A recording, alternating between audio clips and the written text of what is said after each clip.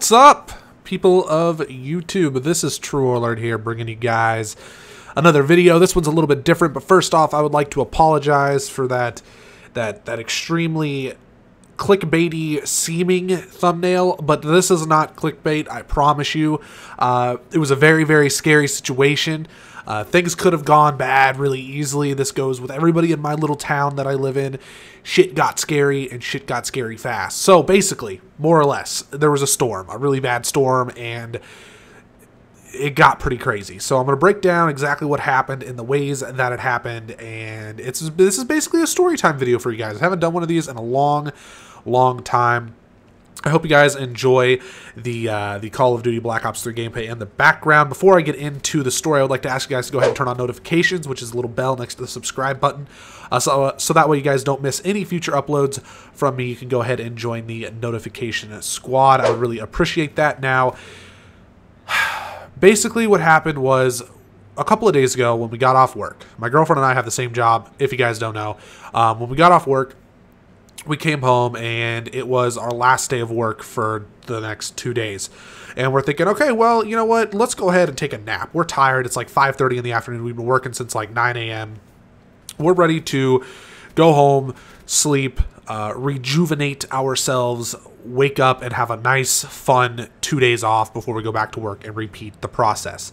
So we take a nap we sleep from 5.30 until about 9.30ish uh, in the pm which is not as long as we wanted to take that nap but it just kind of happened that way. Fast forward to like 9.30 p.m right when we wake up. My girlfriend wakes up to lightning and thunder uh, it's insaneness outside, like lightning that I've never seen before in my entire life. It's like flashing through the windows. It's super, super bright, and it's really crazy. It's like it's not like one strike of lightning and then like three minutes later another one. It's like constant flashing, like somebody's flicker, flickering a flashlight in your window, um, which is not something that I have ever seen when it comes to thunderstorms. So she wakes me up. She's like, you know, she's scared because it's a storm outside, you know, and I'm just kind of like, oh yeah, that's that's lightning. Look at that. I'm gonna I'm gonna go back to sleep now because this is bullshit and I want to be sleeping.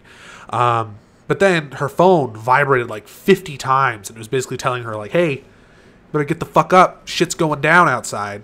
And sure enough, we were in a tornado watch, not not a uh, not a warning, or maybe it's the other way around.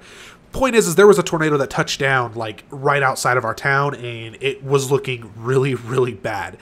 So I jumped up. I'm like, what what's going on? I checked my phone. I got on Facebook. Sure enough, people in our community were posting like, take cover. There's a tornado, violent storm.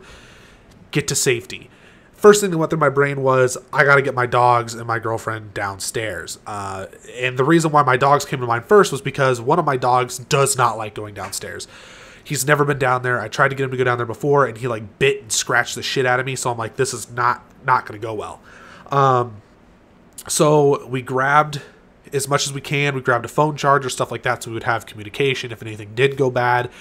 Um, our, our two of our dogs went downstairs with no real issue. Um, and then I had to carry our third dog, Opie, a very, very large dog, by the way. Had to pick him up and carry him down the stairs while he's scratching and clawing and biting at the walls, uh, trying not to have to go down there because he's never been down there. He's terrified of it. I don't know why. Maybe it's the stairs. Point is, we got him down there uh, fairly quick. He didn't fight too much, not as much as he did the first time, um, but we got him down there. We got the door shut to the, to, to the little basement area. Lights was still on. We still had power. Uh, shit was going down outside. It was windy, rainy. It was crazy. Lightning was still going off. And then we kind of like regrouped ourselves. And then my girlfriend goes, the cat's not down here. Like our cat is not down here. We didn't know where she was at or he. It's, it's a boy cat. So I'm like, shit. All right. So I go back upstairs um, and I search for the cat. I figured the cat was going to be hiding because there's a storm. Uh, I found him underneath the table in our living room, underneath the end table in our living room. I grabbed him, ran back downstairs, and then we just sat and, and we waited. Now, this next part is kind of gross, but I'm going to tell you guys anyway. So the room that we were in is a, it's our laundry room. It's a pretty small room. It's probably like 10 feet by like 15 feet. It was big enough for like the four of us, the five of us to be in there. Um, but the reason why I knew stuff was getting really, really bad was because my dogs were terrified, especially Opie, the one who didn't want to go downstairs, and Arlo. They were literally shaking with fear, and you could hardly even hear the thunder. The thunder wasn't like crazy loud or anything. Um, we had no windows, so we couldn't see outside, but we just knew what it was going on outside. Of course, Danielle had her phone, so she was able to keep track of like what was going on with the weather and stuff. Uh, but he could sense it because like his whole entire body was like shaking and he was like releasing his bladder all over the floor. He was terrified. Uh, it's concrete floor. Luckily, we have like a, a, backup shower, I guess you could call it down there. So there was a drain, so everything was just kind of draining out, anyways. Um, so that wasn't too bad. The dog started to kind of settle down. We were we were down there for a total of like an hour and a half, right? And then we like fast forward, you know, about 30 minutes or so and the power starts flickering and the lights start going out. And all we had was our phones. We didn't have flashlights. Uh, our phones had flashlights but we needed to conserve our battery so i'm like fuck. Okay. I ran back upstairs in the storm and craziness. I found a flashlight.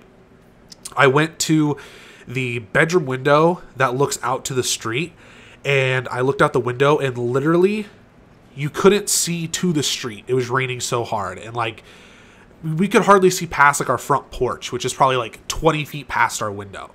It was raining that hard and it was windy as all hell.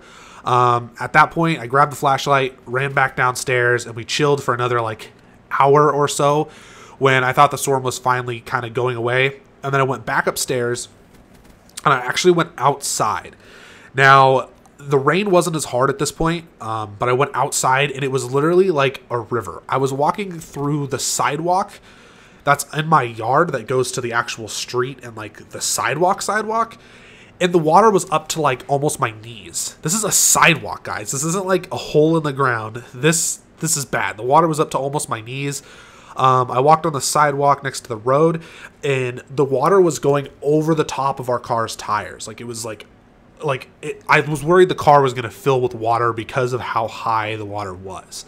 Um, I walked down the street to where there was a group of people, and they were trying to get like branches off of this person's car because a giant branch fell and like crushed the front end of the car and like the bumper area. Um, and there was like a crew of people pulling it all out, and the water was literally like almost up to like it was like their mid thigh area, I think, and it was absolutely insane. It's the most water I have ever seen in that area before. Like it, it was just unbelievable. So basically, more or less, that's that's kind of where the story ends. We came back inside, um, regrouped and everything. The power was out, and then we stayed awake till like two thirty in the morning ish. We played a game of Monopoly, went to sleep, woke up at some point in the middle of the night. The power came back on, and then the next day, which is when we really really saw how how bad everything was, and we knew how scary the shit really was we saw all the pictures of the damage of our little town. I'll, I'll put some pictures up here on screen so you guys can see. But this was not a joke. We had some really, really bad storms, and it was pretty scary. We thought that for sure we were somebody was getting hurt and i don't think anybody actually did i don't even think there was any animals that got hurt but there was a lot of destruction and basically a tornado and really really strong winds went right by our town like the town itself got a lot of wind and damage, but like a tornado didn't rip through it. But a tornado went like literally probably a couple miles outside of our town, um, and one touchdown like northeast of us, I think, or northwest. So it was pretty ridiculous and pretty scary. Anyways, guys, I hope you enjoyed the video. Twitter and Facebook links will be down in the description as always, and deuces.